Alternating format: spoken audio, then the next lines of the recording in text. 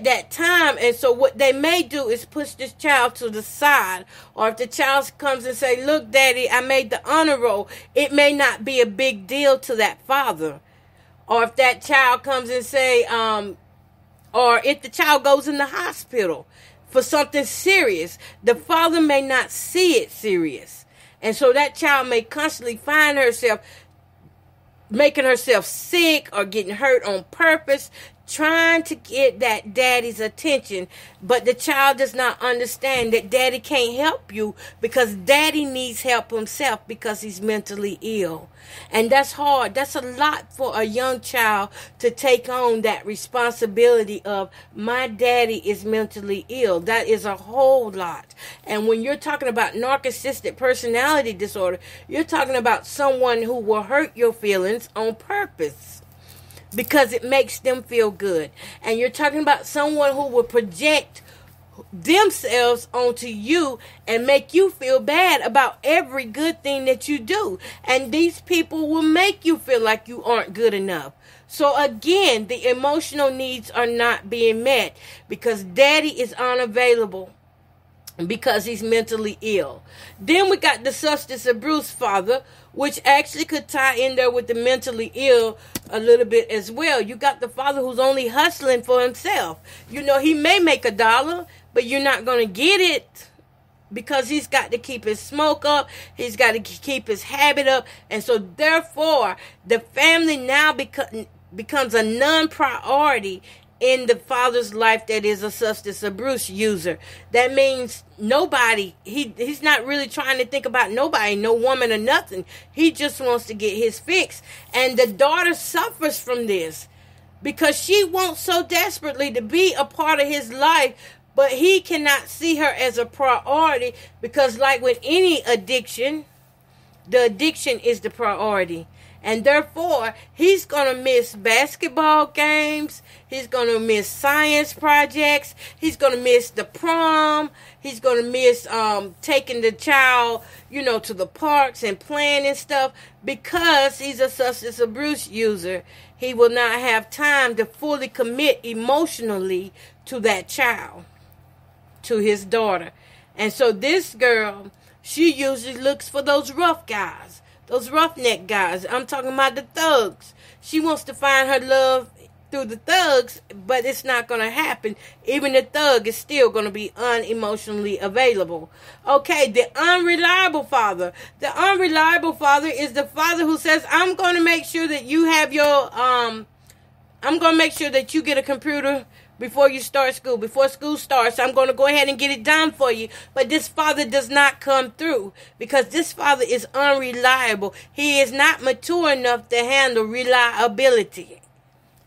So this father, um, He's usually going to be the father that shows up late to everything. He's going to be the father that makes all these excuses. And you already know, you already got the excuses down pat. You already know him because he's been said him to you over and over since a child, and he ain't even changed now that you're older. He's still the same dad, unreliable. Mom can't count on him for nothing. You can't count on him for nothing. And what about stepmom? Step, stepmom can't count on him for nothing because he's unreliable. He's not going to change for anybody because that's his personality. That's his pattern of behavior is being unreliable. All right. And the fifth type of father is the abusive father who is emotionally unavailable. Now, this child, I tell you, Stockholm syndrome. When I think about that, I think about Stockholm syndrome. And y'all know what that is, where, like, um, you think about it, Kamiyah Mos- Mobley. Okay, this is what this reminds me of. You remember the woman, she kidnapped her at a baby. And she raised her all her life till she was up about 20 some years old. And so that's the only woman that Kamiyah knew. And so what ended up happening was she needed something. She was trying to get a job and um, she needed her social security number.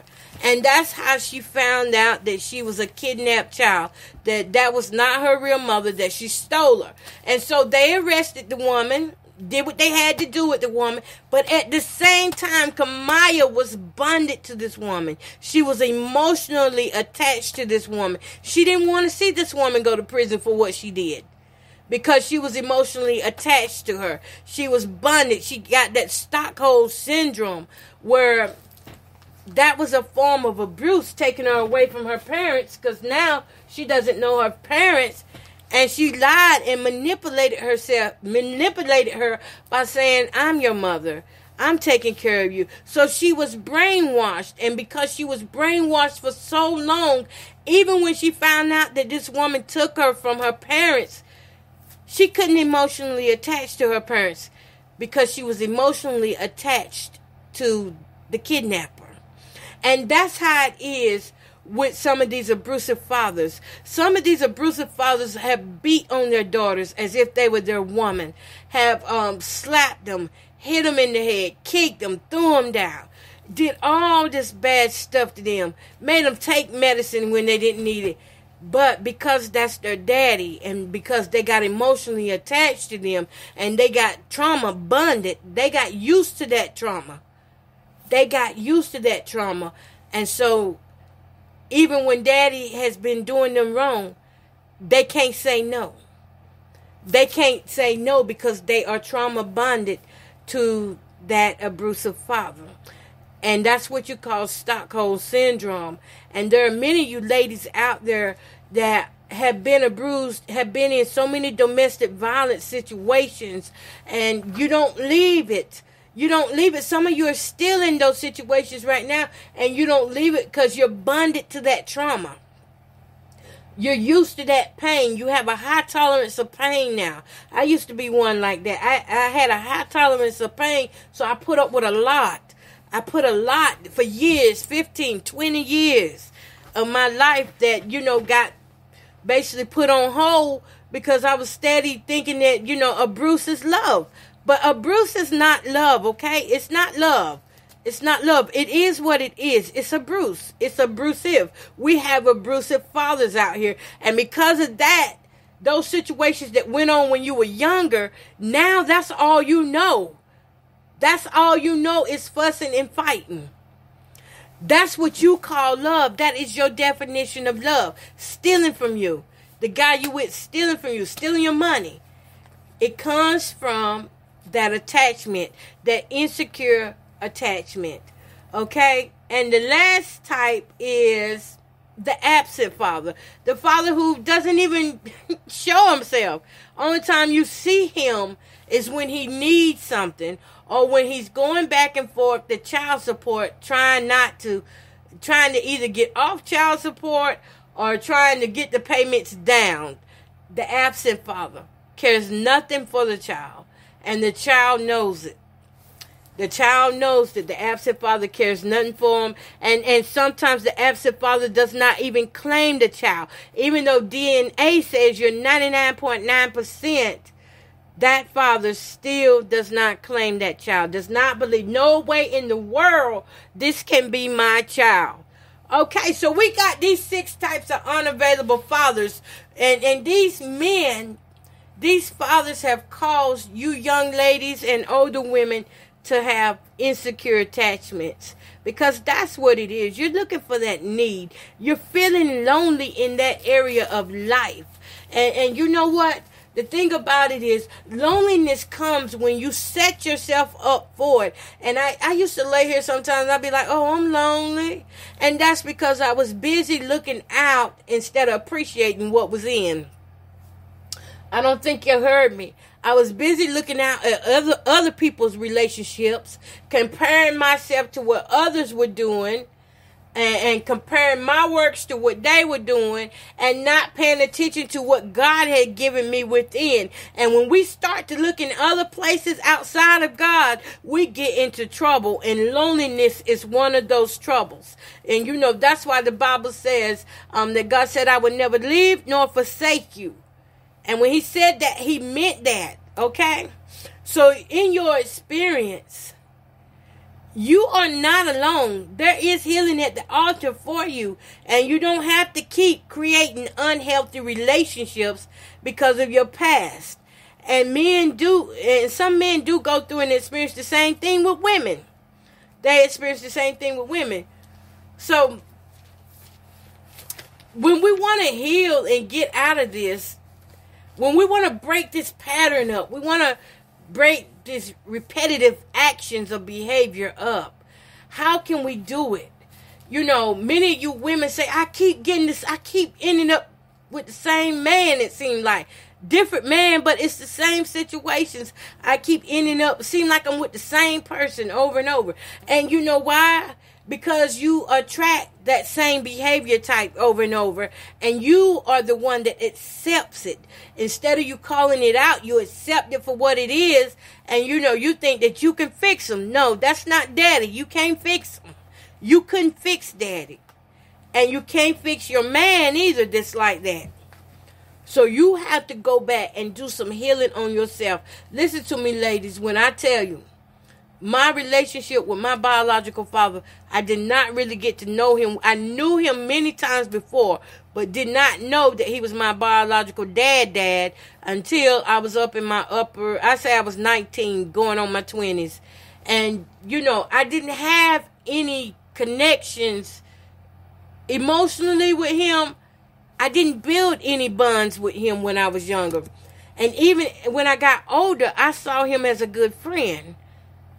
I would say, like, you're my best friend. I saw him as a good friend, but I never saw him as a father.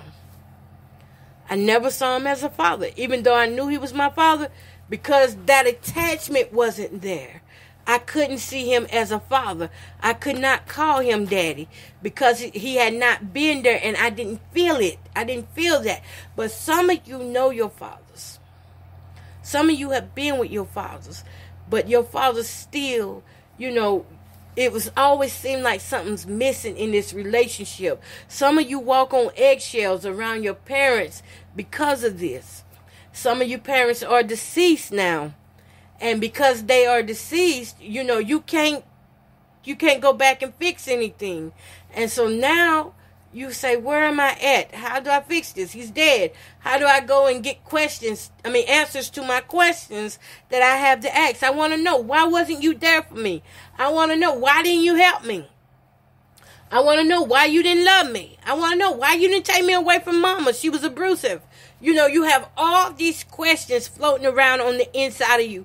And the truth about it all, if you go back to the truth of things, in which I'm, I'm a firm believer that the Bible tells us all the time, go back to that truth and analyze that truth and see what's in it that you're missing. And the truth of the thing is, you can't help who your father was.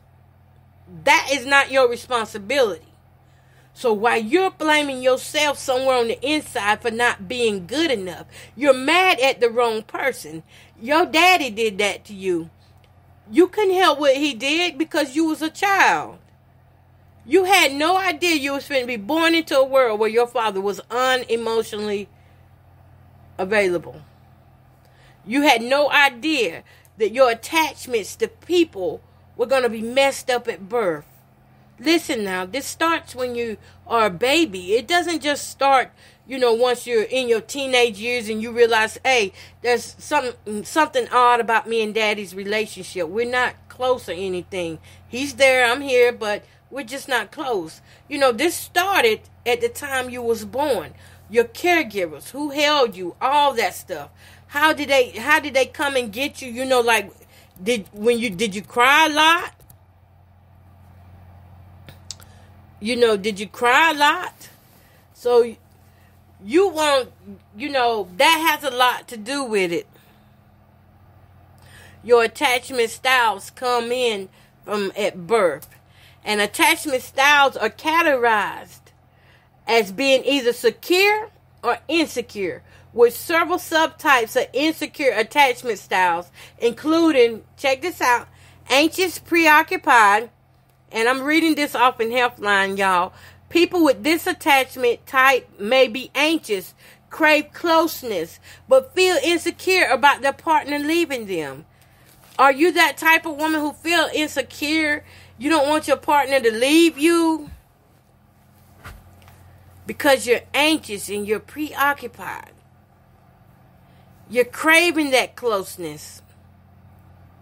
You want them near you all the time. The next type is dismissive, avoidant.